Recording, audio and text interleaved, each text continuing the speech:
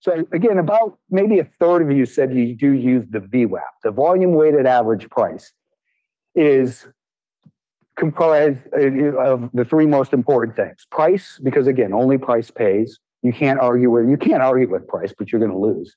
Um, volume shows the emotional commitment level uh, to the market. How excited or you know motivated are the buyers or sellers? Are the shorts really getting scared? And some of these names that are breaking out of the stage one accumulations, like in DraftKings and Shopify and Shake Shack, where there's still decent short positions. So we know that's a potential source of demand. That's why I'm interested in short interest because I know these people are now motivated to buy because they're losing money every tick higher. So that scares them.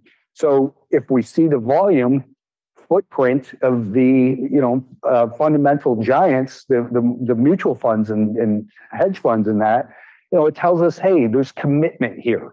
If the stock's pulling back on lighter volume, there's a lack of fear. This is good. Now I'm going to watch it when it pulls back to that 50 day moving average, that 38.2% retracement, that VWAP, and the MACD is oversold or whatever it is that you look at.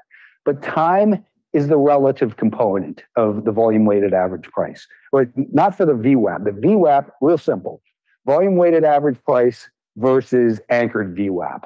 Does anyone, uh, well, you know, I'll just explain it. VWAP is for one day. It starts in the US at 9:30 a.m. That first tick, that trade is the first trade of the day. The volume associated with that is the average price of that first transaction. It trade it opened at 25 even.